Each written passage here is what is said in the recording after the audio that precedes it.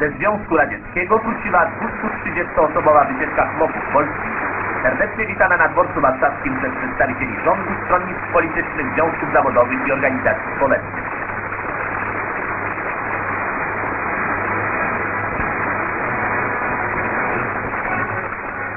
W imieniu rządu powitał przybyłych wicepremier Hilary Helfowski.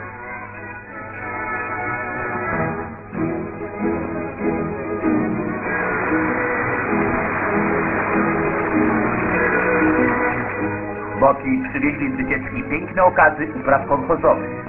Są one widomym dowodem wspaniałych osiągnięć socjalistycznej gospodarki. Przywitanie stało się entuzjastyczną manifestacją na cześć kolchoźników, na cześć przyjaźni ze Związkiem Radzieckim, na cześć wielkiego Stalina. Tegoż dnia odbyło się w stanie Rady Państwa zebranie sprawozdawcze, na którym uczestnicy wycieczki opowiedzieli o swoich wrażeniach z pobytu w kolchozach radzieckich. Prezydent Rzeczpospolitej przysłuchiwał się wypowiedziom.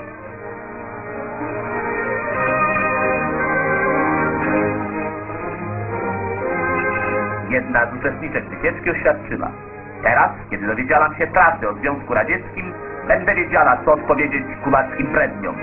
Zwiedzając kolchozy, przekonałam się, że wieś polską można zbudować tylko poprzez gospodarkę zespołową.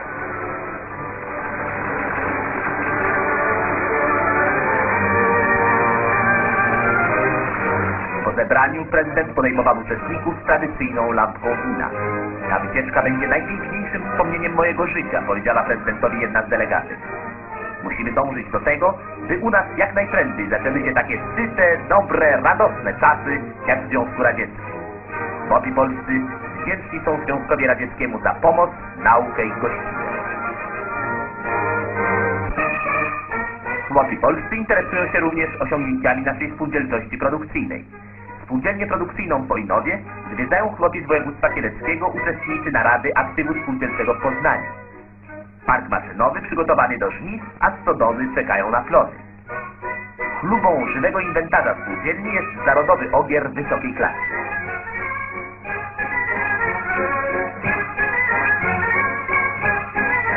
Ale największą dumą gospodarzy są spółdzielcze pola. Zboże dojrzewa tu o wiele piękniej niż na działkach indywidualnych. Jest to rezultat wczesnych siewów i maszynowej uprawy roli. Goście podziwiają zdrowe gospodarstwo. Spółdzielcy wojnowcy pomyśleli również o przedszkolu.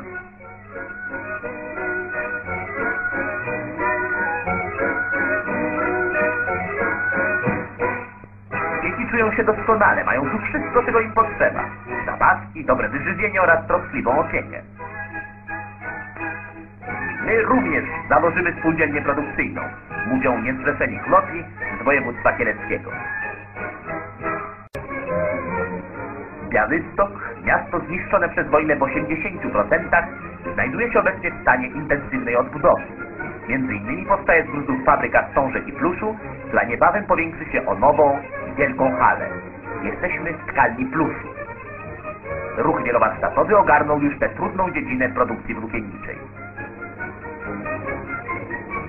W tkalni wstążek wyróżnia się przodowita Czesława Heller, która pracując przy dwóch warsztatach wyrabia ponad 200% normy.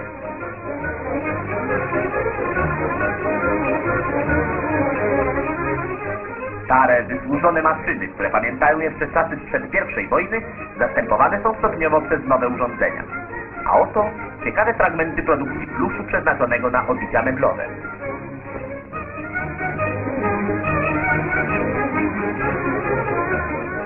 Odbudowana fabryka białostocka przystąpi wkrótce do wyrobu popularnego, prążkowanego pluszu ubraniowego. We wsi Michałowo, województwa białostockiego, jak w całym kraju, rok szkolny zakończony został uroczyście. Młodsze dzieci otrzymują zwyczajne świadectwa. Natomiast najlepsi maturzyści w tym roku po raz pierwszy zostali wyróżnieni dyplomami przodowników nauki i pracy społecznej. Oczywiście i tu przodują ZMP-owcy.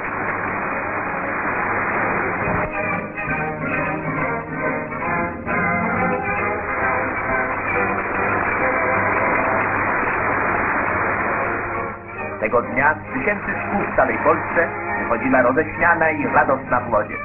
Około 3,5 miliona dzieci uczęszczało do szkoły podstawowej. Mała Janka nie zrobiła rodzicom wstydu. Popatrz, mamo, nasza nowa jedenastoletnia szkoła rośnie jak na drążach. Budowniczym robota pali się w rękach. Za kilka miesięcy młodzież we wsi Michalowo rozpocznie naukę w nowym, pięknym, dwupiętrowym gmachu.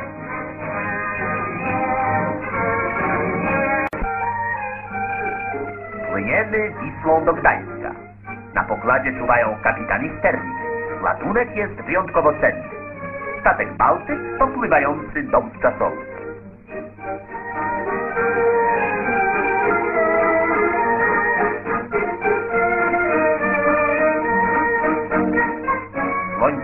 Przypieka, ale za to od Wisły wieje przyjemny wietrzyk. Trzeba się tylko dobrze wysmarować kremem. Za siedem dni, kiedy się rejs skończy, wszyscy będą czarni. Co tydzień zjeżdżają do Warszawy amatorzy wodnych czasów. Tkacze, górnicy, nauczyciele, murarze, technicy. Na Bałtyku można świetnie wypocząć.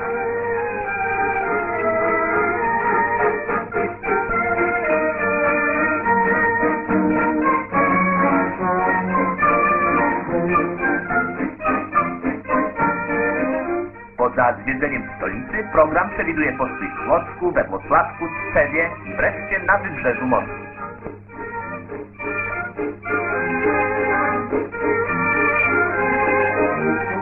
Uwaga, chwila gimnastyki.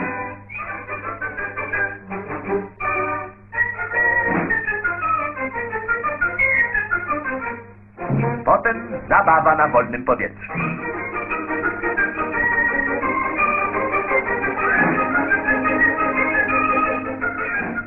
Zamiast gongu mamy patelnię. Ciekawe co będzie zamiast obiadu. Obawy okazały się plonne. Obiad jest prawdziwy, smaczny i obfity. A tymczasem statek płynie. Podróż do Gdańska trwa trzy dni, z powrotem dwa.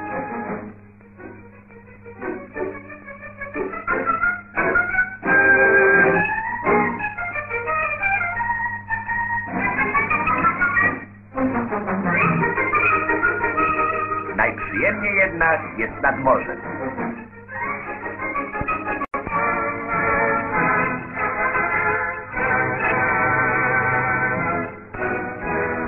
Nad stromym brzegiem rzeki wyrasta w szybkim tempie 26-piętrowy gmach Uniwersytetu Moskiewskiego.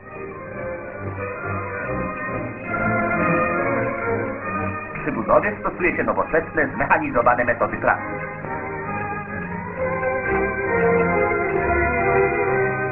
Brygada Aleksandra Tatarincewa wypełnia stalową konstrukcję nowym rodzajem cegły. Cegla ta jest znacznie lżejsza od zwykłej i lepiej zachowuje ciepło. Po raz pierwszy w dziejach budownictwa układa się między piętrami olbrzymie prefabrykowane bloki żelazobetonowe o powierzchni 7 metrów kwadratowych.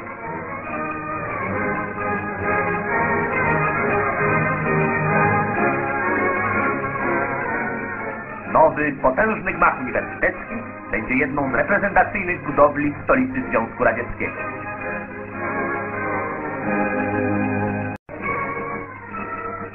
W Bukareszcie odbyły się wielkie popisy sportowe pod hasłem Gotów do pracy i obrony Ludowej Republiki Rumuńskiej.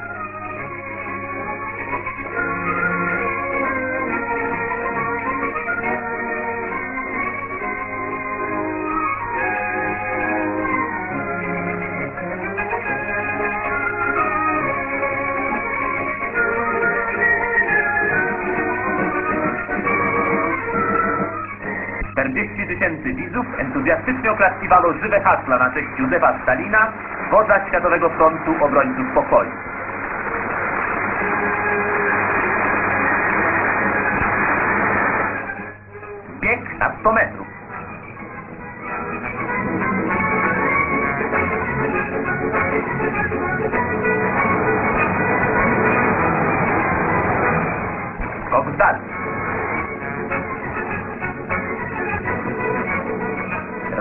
Jest mistrzem Rumunii w rzucie dyskiem.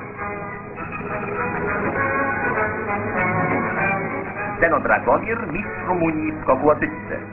Zawody wykazały doskonałą formę lekkoatletów rumuńskich. Jest to rezultat szerokiego umasowienia kultury fizycznej.